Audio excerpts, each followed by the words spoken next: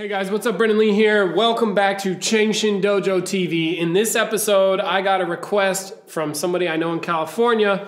He wanted to know about my previous video, how to hit harder, and could I talk more about punching and structure and alignment while punching to increase your punching power, um, and or just alignment in general to increase power. Say you're doing martial arts, or this applies to anything you're going to do with your body. So in this episode, we're going to learn some of the finer points about keeping good structure and alignment and how to move your body from the center.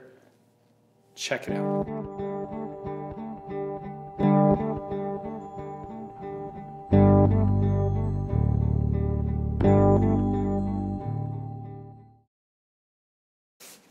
Hey guys, what's up? Brendan Lea here, back with Cheng Hsin Dojo TV. Um, I just got a request from a friend of mine in California uh, regarding uh, what to do, like when you're punching. So I mentioned in, in one of my other videos, like how to hit harder, stuff about the knees. and don't let your knees wander when you're punching. Don't let your knees point somewhere other than your toe. There's uh, in Cheng Hsin we do some stuff called body being. Um, and there's, uh, as far as I can tell, two main aspects to body being. One is um, structural, so purely physical aspects, structural alignment, alignment of the physical aspect that is the body relating to the ground. and there's a whole study in there. And, and then there's this other aspect, this other avenue of study, uh, which is basically like the mind or something. So, body and mind structure, and then what you do with your mind and your feeling states, different states of mind that help create and generate more power. Um, that's that I can do like a whole nother video on that. Like certain states of mind can make a huge difference in the way that you structure and move your body. So don't worry about that right now. We can do that later. What I want to talk to you about is basically the structure. The my friend he asked me, he's like, well, can you say more about using the center and your legs and the ground when it comes to hitting or hitting hard? Um, and I alluded in my last video, these are for, this is for people that don't really understand the power of using the center and the ground uh, so you can get better understanding. So basically, first thing, don't let your knees point anywhere other than your toes. Why? Well, the knee is a hinge joint and is designed a certain way. It works, it works best as a hinge. It does not work well when you go these directions. And sometimes, very often, I have seen people or boxers, people that are learning MMA, they're being taught how to punch. When they punch, don't watch my fists, watch my knees. The structure of your body from here down is extremely important when it comes to power. Much like if you have a table and you build a table with legs that are sideways, you're not going to want to jump on the table. Why? You know this because it's weak. The whole foundation is weak.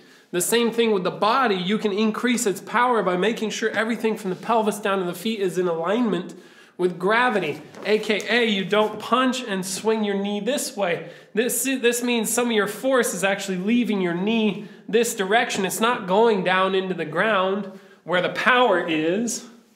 It's leaving the knee some this way, and you're having to use a lot of muscles to compensate. So it's best to when you punch, bam, leave your knees pointed with your toes. Okay? and this takes training. Also, another quickie Press your knees down into the heels. Make sure your leg is all one piece down into the ground and it's not, your knee isn't moving somewhere like this way, which you can probably see. It's headed towards the floor. It's not, excuse me, it's headed towards the floor where my foot is not standing. It's not headed towards the floor where my foot is standing.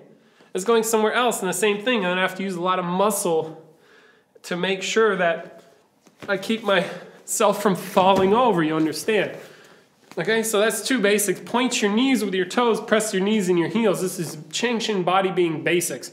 Powerlifters will tell you the same thing. Point your knees with your toes because they know if you lift, you're lifting 500 plus pounds on your legs and you don't do that, you're going to tear something. And so that's for dealing with lots of power. There are certain people that they just kind of know this because they deal with power. Anybody that deals with lots of power with the legs is going to know that or at least you should hear about it. And if not, you probably broke your knee somewhere the, along the way. I hope not. It's not good. Um, okay, so that's knees and point your knees with your toes, press your knees in your heels, and then um, there are several other postural points I don't want to get into right now. So the, the main thing, so it's like you want to learn how to hit harder. practice moving your whole body from your center, that's your pelvis, and keeping everything in alignment from the pelvis down, that should increase your power dramatically right away.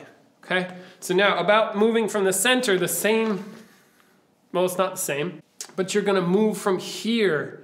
When you're gonna punch, punch from here and stay connected to the ground when you do it. How do you punch from here? Well, it's really good to, to practice. You know, figure out in your body mind, not your like thinking mind, but your feeling mind. When you're where you whole, feel your whole body, feel this part of your body. This is for punching, punching. Okay. Also helps you to get in your body to feel this part of your body, and will increase your ability in pretty much any physical activity if you do it from here and you put your mind here. Feel that and then move that first. So when you punch, if you want to hit harder, move from here first, not from up here. You see how that's like up? Move from down here first. Here is where the power is. And here.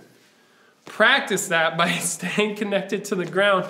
Leave your body alone, uh, leave your, like, say, upper body alone, and then move from your center. Move from your center. And then practice moving from your center and keeping your knee pointing with your toe because very often you're going to go like this or it's going to swing through space.